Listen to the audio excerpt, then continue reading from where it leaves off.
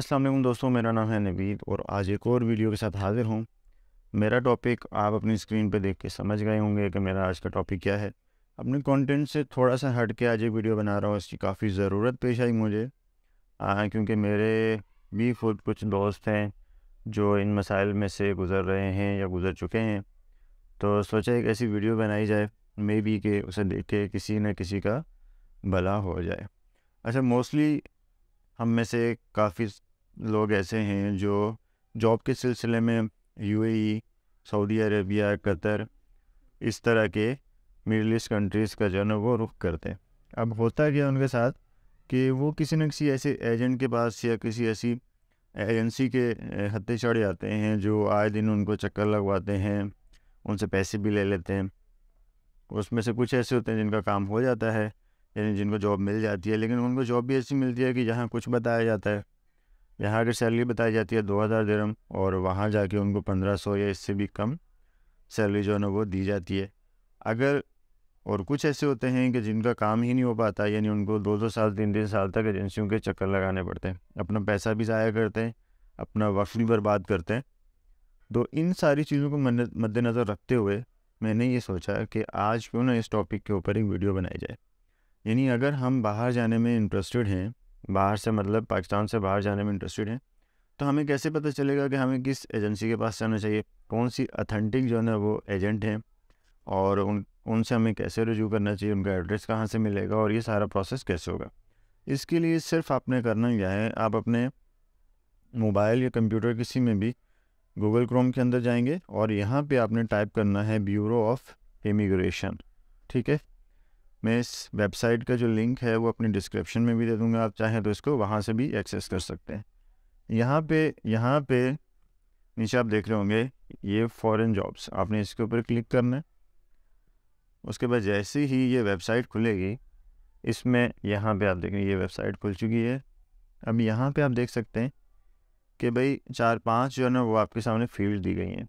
फ़र्ज़ करें आ, मैं यहाँ पे ये देख रहे हैं यहाँ पे मुख्तलिफ़ जो है ना मैं यहाँ पे सर्च करता हूँ एज अ सिक्योरिटी गार्ड ठीक है? और मैं इसके ऊपर क्लिक कर देता हूँ सर्च जॉब अब यहाँ से अब नीचे जाएँगे तो ये देखें, ये सारी जो है ना सिक्योरिटी की जॉब्स हैं। अब इसमें से यहाँ पे लिखा हुआ भी आ रहा है कि भाई, इसकी सैलरी कितनी होगी? कितनी जॉब्स थी? और किस जो एजेंट है या एजेंसी है, उसके पास है।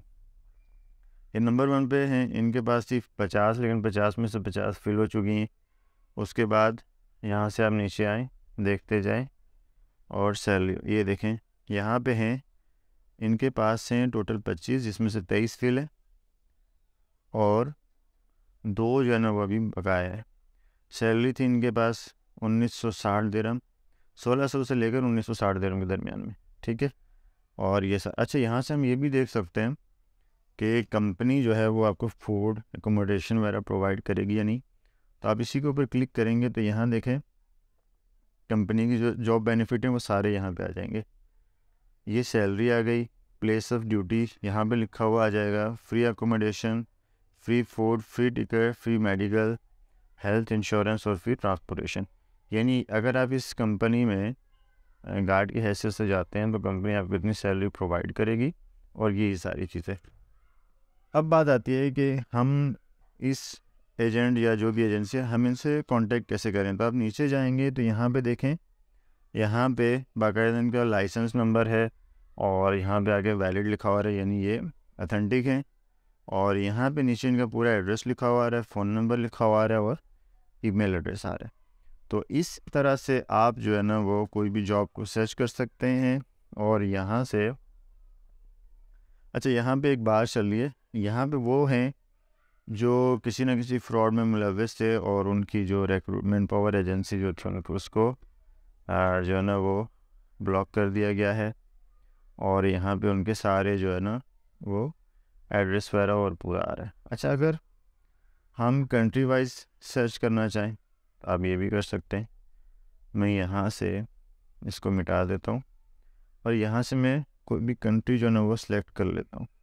मोस्टली ज़्यादातर जो जॉब्स आती हैं, वो मिडल ईस्ट की आती हैं, यानी ज़्यादातर यूएई सऊदी अरबिया, कतर, इनकी आती हैं। बाकी यूरोपियन कंट्रीज़ की जो ना जॉब्स, वो यहाँ पे ना होने के बराबर होती हैं। तो उनको यहाँ पे सर्च करना हाँ इसके बाद मलेशिया की आप सर्च करते मलेशिया की बहुत ज़्यादा होती हैं। और मैं यहाँ पे देख लेता हूँ कतर का। जैसे मैं कतर के ऊपर क्लिक करूँगा, यहाँ देखें। इसमें सारी जो है ना वो कतर की जॉब जो है ना, वो उसने मुझे सामने शो कर तो ये था आज का मेरा टॉपिक उम्मीद है आपको आज की वीडियो अच्छी लगी होगी और आपके लिए काफ़ी हेल्पफुल भी होगी। अगर वीडियो पसंद आए तो लाइक करें शेयर करें और सब्सक्राइब